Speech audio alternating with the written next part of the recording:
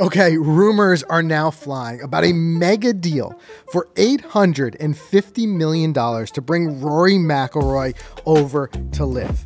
And what's added only more fuel to the fire and confusion is way Rory himself has responded to these allegations in the last couple of weeks. On top of that, we've got Viktor Hovland has been identified as the next target of LIV, and he's withdrawn from this week's RBC Championship, just making us kind of wonder what's going on there. Plus, we've got Phil Mickelson talking about how we may see some fundamental and pretty massive changes to the structure of LIV itself and just kind of wrapping all that up, we've also got Jon Rahm saying that while he was at the Masters, a prominent PGA Tour player wouldn't even look at him, just showing that the continued kind of beef is continuing beef to, lingers. to go Yeah. on and just leaving us with more questions and more wonders. Regardless, the post Masters hangover is clearly in full effect. Full effect, and the rumors are swirling, man. They absolutely mm-hmm. are. So let's talk about first what these rumors are, uh, how in a lot of ways they echo some rumors very similar. It's shockingly similar to the numbers that we heard just a couple of weeks Wasn't ago. too long ago, yeah. From Rory's ex manager. And I think that it's very interesting to see how much that money kind of lines up and it kind of gives a little bit more weight to the possibility of what's going on here. And then we're going to talk about how Rory himself has been responding, which in a lot of ways did not shoot these rumors down and only added even more fuel, like I said, to that fire. So this comes from just just kind of breaking in the last couple of hours here. Uh, this comes from an English. It's a business and finance publication, City AM, uh, and I'll read the quote directly from the from the article. They said two separate sources have told City AM that they believe a deal is close. It is claimed that LIV Golf's Chiefs have offered world number two McIlroy an eye-watering eight hundred and fifty million dollars to join, plus around 2% equity in the competition. It would make him LIV Golf's big, biggest signing so far, and it could be announced right after the Masters, which is where we sit Here we are. right now. Yeah. And not only that, I imagine Rory, like what the value could potentially be. I mean, once you have $850 million, how much more do you really need? But what the value Yeah, could be seriously. For an additional 2%. And we're going to talk in a second. I want to read some of Rory's quotes about how his, his rhetoric has softened on LIV in a lot of ways. He's really, we talked about here on the podcast, he's made that kind of 180. But at some point, it has to leave you wondering is there a dollar value where anyone would go? And are we close to it here? I think we're darn close. I think a guy like Rory, who has enough money for generations, he doesn't. I don't think he. Hate to say you don't need 850, but what's the guy worth? A couple hundred million, right? Yeah. At this stage of his life. Um, I mean, I like looking back at, at Full Swing on Netflix. You kind of saw how almost angry he was that he was the the lamb. This the, the sacri- He called himself a he himself sacrificial that. lamb, he felt like you know, yeah. and I feel like maybe if that anger is still lingering and he in the back of his mind he's like I've had it with the PGA Tour, then I'm starting to buy these rumors more and more. I mean, I thought honestly, I made the prediction. I said if he won the Masters last week, Yeah. I think that was it. I think he was retiring from PGA Tour golf, taking a gazillion dollars and going over. And I thought we were close, and maybe he still is thinking about. it. But to, to answer your question, I think the number is like a billion bucks for one of these main main guys. which is, I mean, we're right where we're, We're- we're basically close. where we're sitting.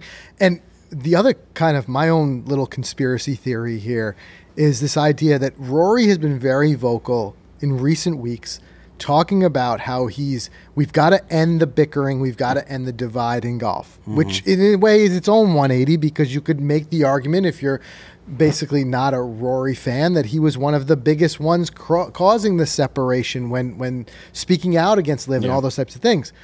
But it almost makes me wonder if, for all the reasons we've talked about in the recent weeks on the podcast of why it's not getting done, you know, uh, not being able to get all the PGA Tour players to agree, things like that. Do you think it's somewhere sitting in Rory's mind the idea of saying, you know what, I'm going to do a deal and force the hand? Because if Rory goes, now you're getting, and we're going to talk about Hovland in a second too. Because if Rory goes, and then on top of it, if Hovland goes, it almost gets to the point where it's it becomes a breaking point where now you've got to do some sort of deal, and not only from the PGA Tour standpoint, but what about the European Ryder Cup? I was just gonna say Ryder Cup. Yeah. right? You Yep. get now McIlroy, Hovland, the biggest stars, uh, Jon Rahm, Rahm. all these guys, and now they can't play on the team. It almost in a way like, could you imagine Rory saying, "I'm going to do the deal for what maybe in his mind is the greater good of golf," and say, "I'm going to force the hand. It's got to happen." Yeah. You know? So you're saying by him going, then they're going to change the rules and they're all going to come back together for Ryder Cup, Right. signature events on the PGA Tour, maybe. And we're going to talk in a second about what this whole. Mm-hmm. structural change is that that that Phil Mickelson's hinting at. But could it be that now you get the the combined voice of Rahm and Rory is enough to make the changes at LIV that they've been calling for? you know, interesting. Mm-hmm. seventy two holes, cuts, Yeah. official world golf rankings, et cetera, et cetera.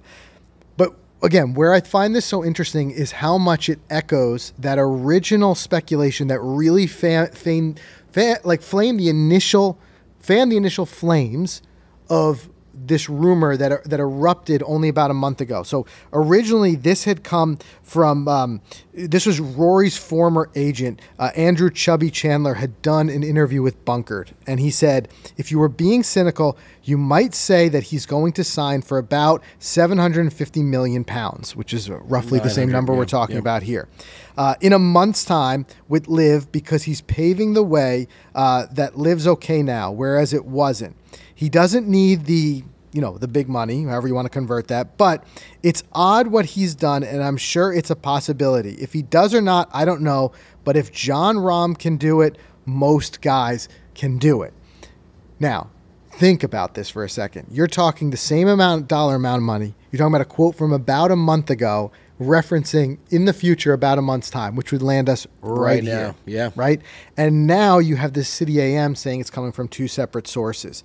Additionally, again, some some way could argue sometimes you can you can see what you want to see if you want to find the evidence and some of this could be a little bit too much speculation but also on the other side of that coin is how much of these little things that we're seeing could possibly be indications of what's happening. Yeah, right. The other big one was, and a lot of people reported on this, that they said that Norman, Greg Norman, who attended the Masters, uh, there was a little bit of beef there, by the way, too, because uh, he ended up having to buy a ticket. And uh, did you see Freddie Couples tweet? Yeah. How about that, huh? Freddie. Freddie had a little had to get a little dig in there. He said, "You got all these LIV players. 13 guys in the field. Not one of you can get a ticket. Not one of you can get a ticket. Next time, hit me up. I'll get you a ticket. Regardless of how Greg got into Augusta, it was reported that he was very closely following Rory's group. So, are there talks that are happening? Are these guys starting to buddy up? And in a previously, we had talked about how uh, Greg Norman himself said he would be one of the first to congratulate uh, Rory if he won the Masters. So again, softening on on both sides. Um, but you know, seeing that he's doing that and all that type of stuff is kind of like keeps adding to this possibility of it happening. Well, let me throw a wrench at it real quick because Rory's a guy who doesn't have many exemptions. Yes, he's number two in the world, but you go to LIV and you don't have world golf ranking points. I mean, you're going to drop like a rock. I mean, he hasn't won a major in a long time, Yeah, right? No, I mean, it's been a bit. So, I mean, if he starts plummeting down the world rank, I think a guy like Rory is going to be meticulous and make sure that he will be able to play on Ryder Cup if he goes to LIV. He'll make sure that he could play in all the majors somehow. He'll be make sure that there's some type of format change that gets world rank. Number two in the world, that, that top five is coveted probably to him. Yeah. So I don't know if it's a slam dunk. Yeah, But- I, I, I think that's one of the biggest indications why this may not happen, is because of the fact that you Rory. I think the last thing he's ever going to do is put into jeopardy his ability to play in majors. But, but I have to speculate and think here two things. One, no matter what, 850 million plus dollars changes a lot of minds, mm-hmm. right? And and Rory is he, he's not as young as he once was. Yep. So I still think he's got a lot of potential to win majors, but there's that to think about. And the second thing is we LIV is still such a, a new and evolving and fluid thing. Who knows if if again if he's leaning on the idea or the, in the discussions of knowing how the tours are possibly going to come together and he mm-hmm. might not lose official world golf rankings or how his own leverage may change Yeah. the structure of LIV. Right. But let's talk about how he responded because I thought this was so interesting. So going back to that original quote about the original speculation that was made by Rory's ex-agent saying he thought that it's totally possible that Rory would go for this big money. This was at the Cognizant Classic just a few weeks ago. Rory was asked, and I thought this is Rory's opportunity that if it's not true, to laugh it off and shut it down. Right. right? Now, Rory did kind of seemingly being a little bit coy, uh, indicating that he thought possibly the motivation of Chubby saying this was that he's got a book coming out Yep. and wanted the publicity. But then Rory said, you know, and you could see the the interview, it's out there on, on, on Twitter and everywhere else, seemingly very candidly, he said, I spoke to Chubby, uh, might have seen him in the Middle East, uh, actually at the start of the year. Then he said, You never know. He might know a few things. Who knows?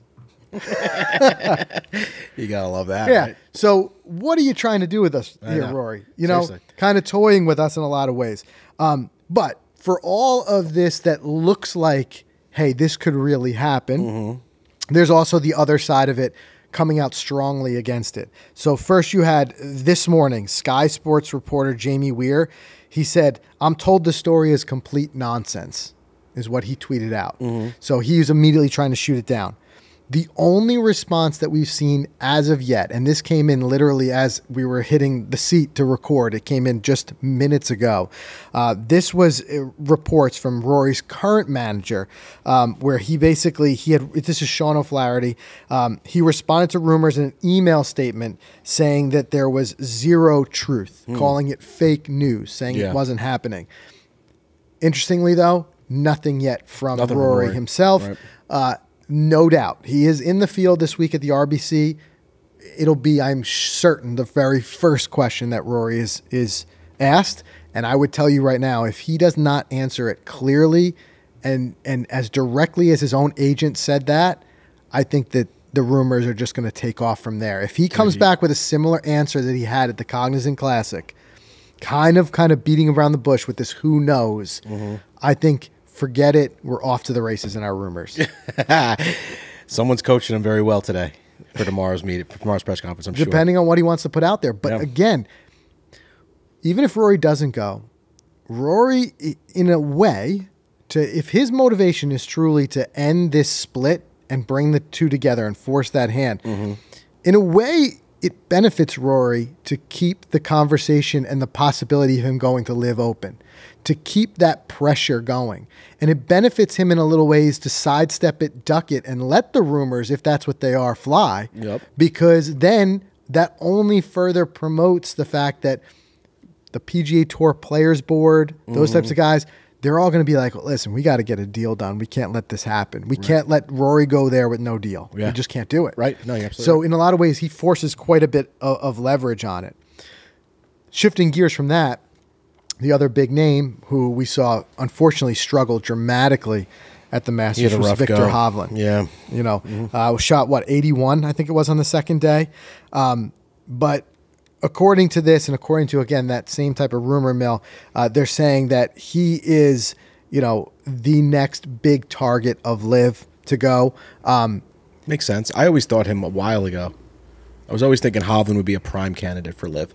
It's more of that European. Exactly. Hovland makes a lot of sense to me um, because of that reason. You see, like the success that Liv has had is kind of going after international Mm-hmm. stars more so than here United States domestic Right. type of stars. Um, whether it be bringing in that international audience that they're after, whatever it may I be. think they have enough United States stars LIV.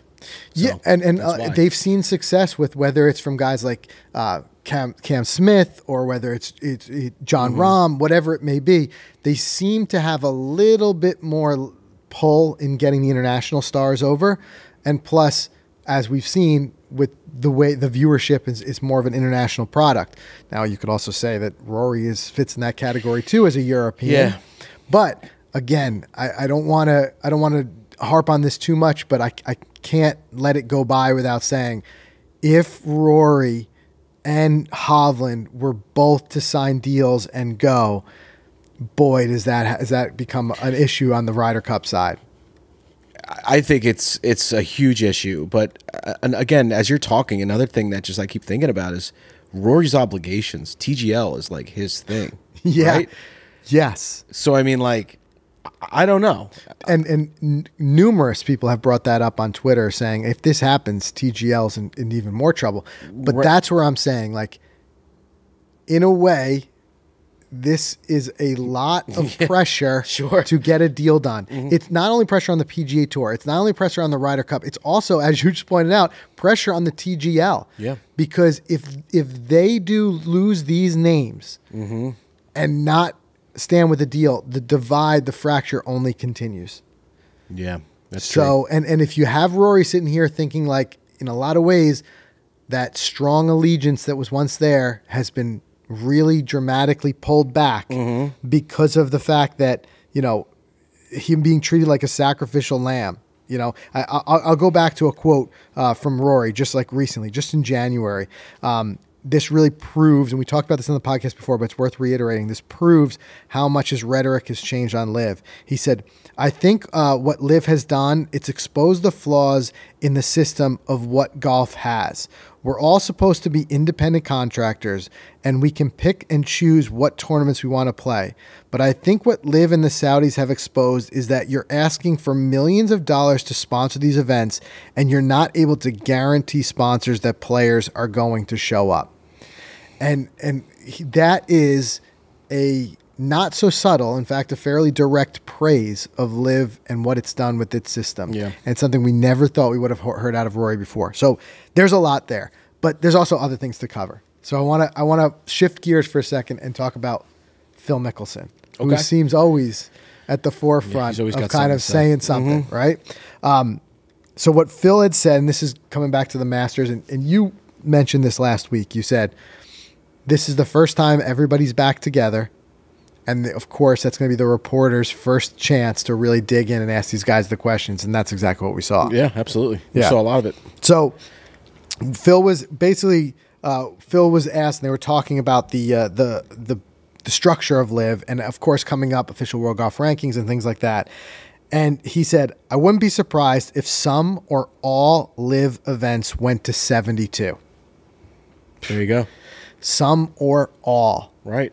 And I don't think he has a motivation to say that unless unless there's definitely some truth to it. Um, but this is interesting because just just very recently we we quoted and we talked about Jon Rahm was probably the biggest one leading that charge um, for 72 holes, and it makes you wonder: is Jon getting his way? So Phil made you know he kind of basically said that, but at the same time he he made this kind of a pleading the case that he really didn't think it mattered. Yeah. Whether it was mm-hmm. 54 or 72 holes, he went on to say, every competitive round is an opportunity to play well and compete. I don't think it make it makes a difference either way. We've got mini tours playing 54, Champions Tour playing 54. I wouldn't be surprised if some or all LIV events went to 72. I don't know, but it doesn't matter. So, in a way, that was him kind of like shrugging off that it might happen, and Yeah. kind of, in a way, I shouldn't say shrugging off. I should say kind of validating that it might happen, Mm-hmm. but at the same same time, trying to shrug off it being such a big deal. Yeah. Because I think a lot of the people who are on the anti-LIV side have said you don't deserve official World Golf rankings because of the 54. This was kind of Phil's way of saying, look at all these other tours that do have rankings that play only 54. Right. Right? Yeah, sure. Um, he even went a little bit further, basically saying that winning a 54 hole tournament has its own unique challenges. He said, You have to play well the first day, or you're so far behind that it's hard to catch up. Whereas in 72, you can kind of work your way into the tournament and fight if you don't have it the first day. Fight to keep it around par and then make up ground. I could go either way. It's it's just the nuances of a different format.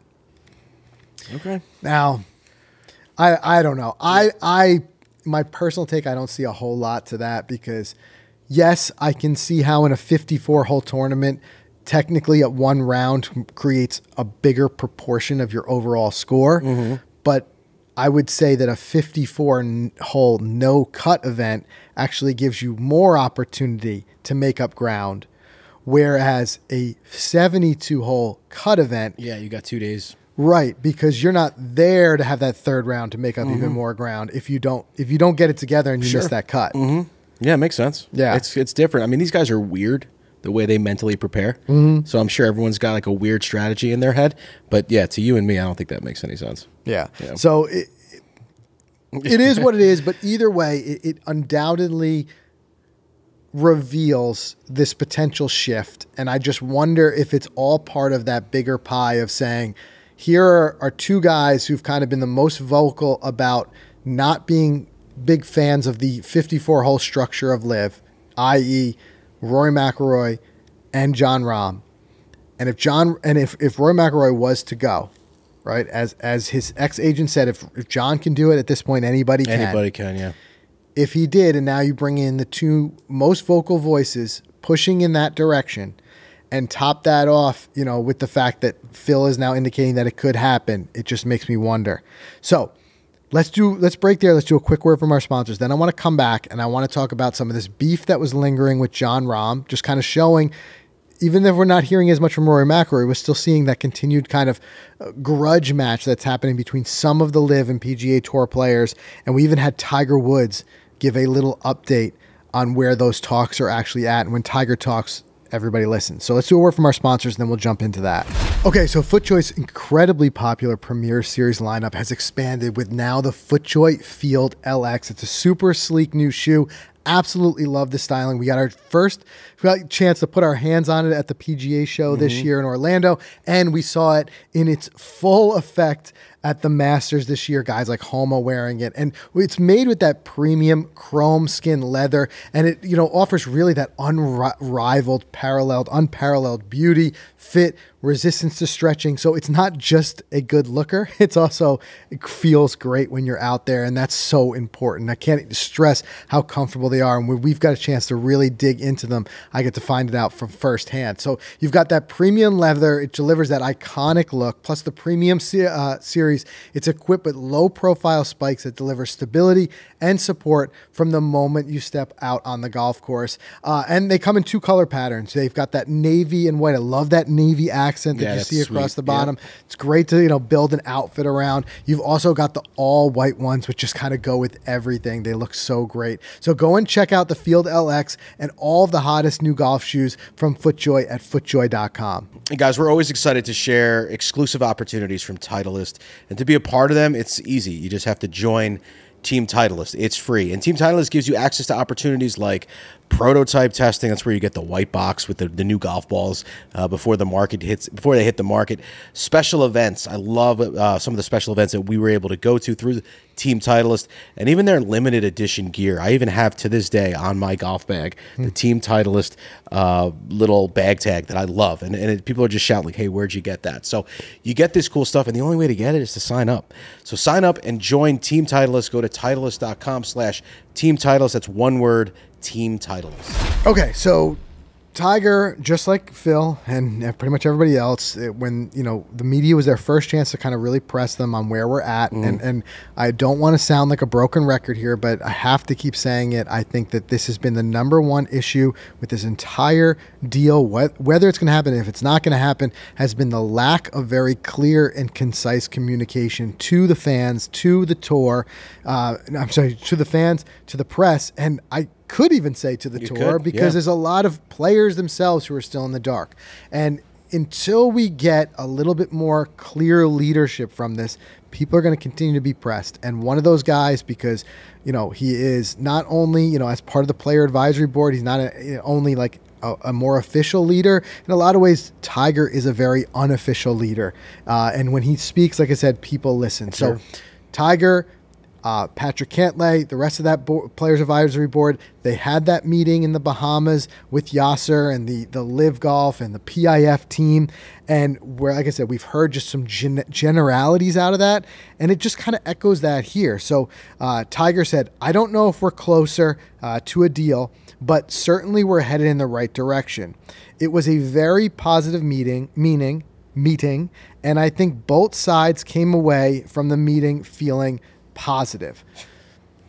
You know, Kicking the can down the road, Right. it sounds like. Yep. in a lot of ways, it really does sound like that. And, and this is again, this is why I just wonder, like, would Rory, if these are not true, these rumors, and there's a very good chance they could be true, if they're not true, is this Rory saying, "I will let this play out to put pressure on all these guys to start actually making decisions and actually communicating them. It's a good play, right? I mean, right now he is the other than Tiger Woods, he is the biggest name that would leave this tour. Yeah. You know, he's the biggest name other than Tiger. So Well, uh, Scotty, but we don't think Scotty could possibly leave. True. I, I would think more so from a worldwide golf perspective. Yeah. I think Rory's more loved worldwide than Scotty. I think Scotty's an American hero. Yeah. You know what I mean? That's how I look at him. Okay. Yeah. But, like I um, said, with the international stardom yeah, of Rory, no is, doubt. is undoubted. Um, but i again, it, it just makes me wonder, like, where, where in a lot of ways, where do we go from here? Because now, and we, we talked about this, you know, last week on the podcast. The the initial framework deadline, you know, it, it came and, and, and was extended. They they set a loose deadline of the players with saying that they did not want it to go past the Masters. That was their mm-hmm. words. They didn't. Want, they actually they didn't want it to reach the Masters because they didn't want it to interfere with the Masters.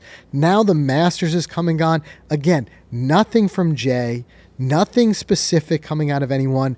At this point, where do we go? Do we just say, uh, you know, do we set another date? Do we say I'd like to have things done before the FedEx Cup? You know what I mean? Or b- before the President's Cup? Or do we just say we're just going to let it coast, uh, you know, for the rest of the year? Yeah. Regardless, the longer we let it run, the more you're going to have this speculation, and the closer we're going to get to the following year's Ryder Cup and all those types of questions. And and although that Ryder Cup seems far out, preparations start now Yeah. you know, identifying captains, you know, identifying vice captains. it all starts now. Right. right. And and a lot of that is going to be influenced by what's going on and what this deal ends up being. So there's still a lot to iron out. The, the other thing I want to talk about, of course, is is Jon Rahm and what he had said, uh, because I, I Jon Yeah. Rahm has always seemingly been one to be very vocal and speak his mind.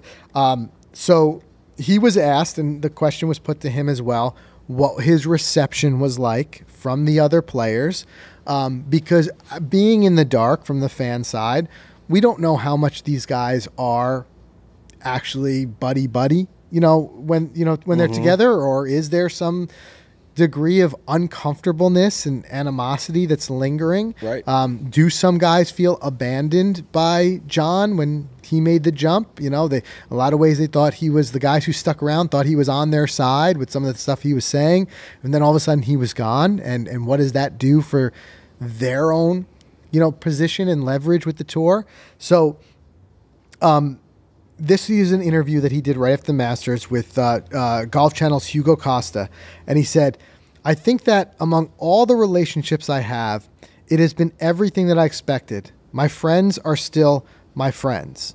So he's saying that when he met up with the guys at the Masters, for the most part, there was no animosity. Everyone's still his friends. However, he went on to say, then someone with whom I was very cordial and had a, had a positive relationship has not even looked at me. If someone changes their opinion of me, it's more their problem than mine. I am not worried. I knew it was going to happen. I didn't know who.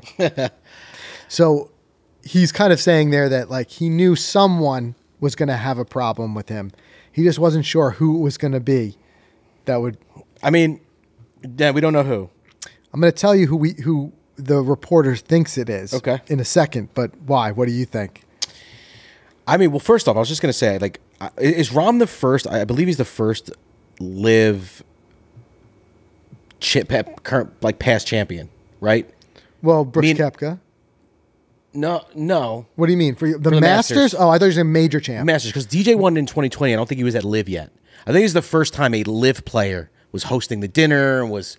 right. So I was thinking Rahm went in. I, I wanted to give Rahm like I don't I don't think anyone feels bad for Jon Rahm, but he had a tough he had a tough week going in. He knew he was he was gonna have a lot thrown at him, Mm-hmm. you know. And and that dinner, that Champions dinner with Jack Nicklaus, Tiger Woods, and you're not on the PGA.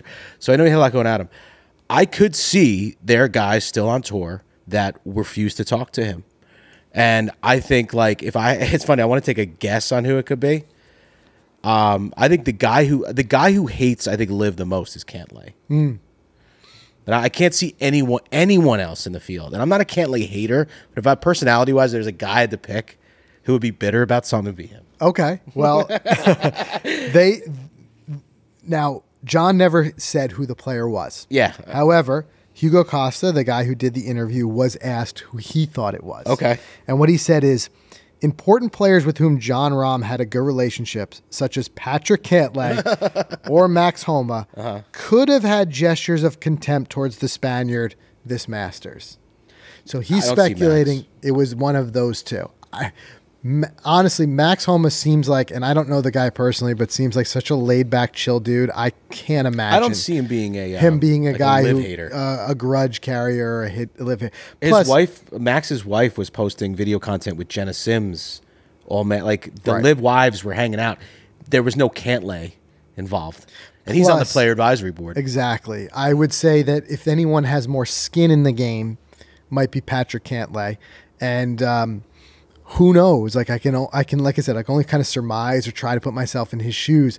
But maybe Cantlay's thinking, you know, way to go, Jon. You kind of you made my life that much more difficult by going. Yeah. You know, uh, y- you know, here I was. This, you know, my now I'm I'm that much Yeah. harder for me to do the negotiations with you going. Yeah, yeah. Um, but who knows? Who knows? Uh, I just think it had to, in a lot of ways, it had to be more than just a a, a glance or a possibility of someone not saying hi for it to rung true enough in Jon Rahm's mind for him to actually call it out as saying someone would not even look at him. To me, that's like saying like oh, I went to a party with an ex coworker and the guy wouldn't even look at me. Right. That's telling me this intent. He's he's There- there- doesn't want anything to do with me. Right. You know. I mean, there must have been a situation on Augusta where this individual, where Jon encountered them and they didn't say hello. I would imagine it's probably in the he locker room. Blew him off. Although it does, he doesn't have his own locker room because he's in the He's champions. his own locker room. Right. So Yeah. now the story gets deeper. Yeah, No, so- which chan? so look i mean ultimately um it, it, all of this like i said is it's a further indication that we we just we we need some answers about where everything is headed um, but i'm just very interested. I will be watching the interviews very closely. This week we know rory is going to be pressed and let's see if he's able to give a very clear answer of whether this deal potential deal is true or not or if he tap dances around it. And if he tap, tap dances around it, is it because the deal's happening, or is it because he wants that speculation to provide the leverage to make you know the, So you- the two tours come together? So you want to hear him say no? Absolutely not. I, I he starts hear dancing s- around it. Right. I want to hear him say something as direct. If, if, If. like, and I, ultimately, he make whatever decision he wants. But in regards to this rumor, Correct. I want to hear him say either it's happening, which he wouldn't say Which he won't. until the deal's inked. That's why I think Or I want him to say if it's not happening, I want him to say no. There's absolutely no truth to it. It's not happening We'll see. because that would be a very difficult statement to walk back, and it would put it to rest, and that would show his intent of putting it to rest. But if he says anything else, it means he's leaving the door open. We'll find out tomorrow. Make sure you subscribe wherever you get your podcast. We'll we'll stay on top of this one.